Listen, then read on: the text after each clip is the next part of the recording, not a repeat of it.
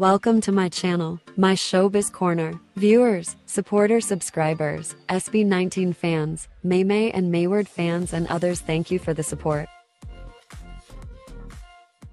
Hello 18s, tuloy-tuloy na at walang tigil ang pagpasok ng mga SB19 songs sa mundo ng Korea.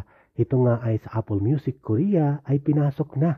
Nasa list na, nasa playlist na ang ah, mga kanta ng SB19 sa Apple Music Korea. Talaga namang nakaka-proud dahil ah, ito ay nakalingbahay pa talaga sa kanila.